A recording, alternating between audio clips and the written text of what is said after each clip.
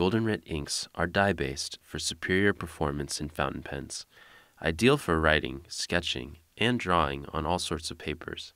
Goldenritt works beautifully with dip pens, sumi, or other brushes.